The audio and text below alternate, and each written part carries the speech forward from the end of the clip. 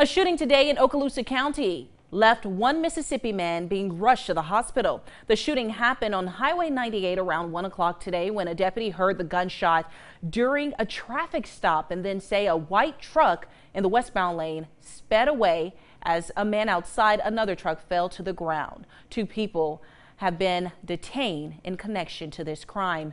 Now the victim had to go under surgery.